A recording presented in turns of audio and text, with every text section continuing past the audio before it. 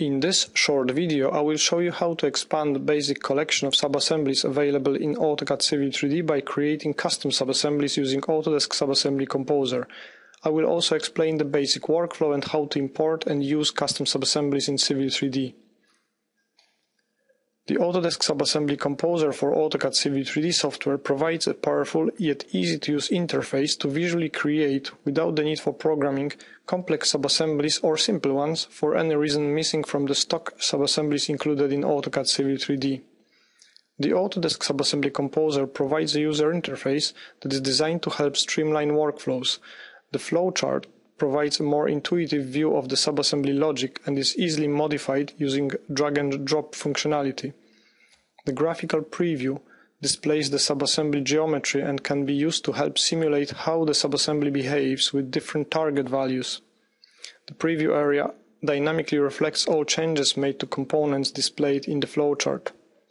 The settings area allows creating and modifying settings such as input, output and target parameters leaving the designer flexibility to adjust available attributes when the subassembly is inserted into drawing.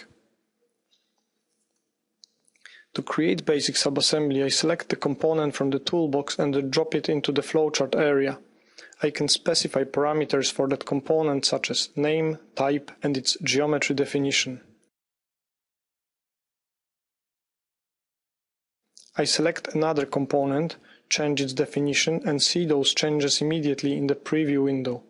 By creating relationships between points, links and shapes, I create the whole geometry for the subassembly. On this occasion, constructing this simple curve, I decided that all dimensions are fixed and the subassembly shape will remain static when used in the model space. I can also make the dimensions parametric so they can be adjusted once the subassembly is inserted into drawing. The same principle applies to codes which can be assigned to points, links and shapes and which are used to create corridor feature lines, annotation or other model output. To better illustrate dynamic features available when creating custom subassemblies, please have a look at the following examples. More complex or conditional subassemblies can be built using decisions, switches, subsequent flowcharts, sequences, variables, and even error message handlers. In the preview window, we can simulate how target parameter change affects subassembly behavior.